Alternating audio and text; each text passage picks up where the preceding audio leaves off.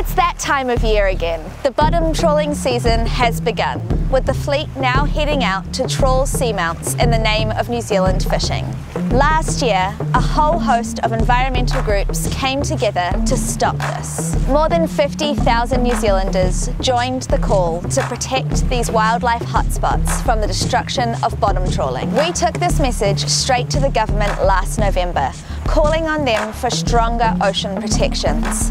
But despite our demands, the Minister of Fisheries is not biting.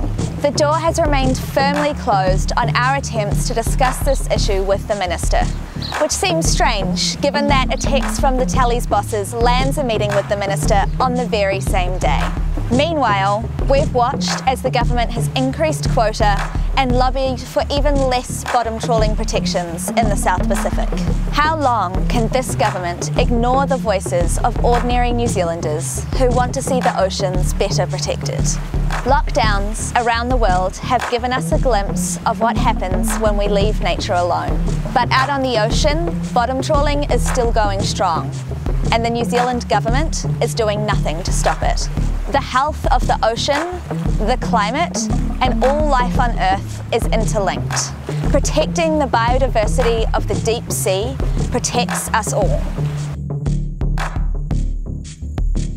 I haven't got time for any of this poisonous gossip from these political pufferfish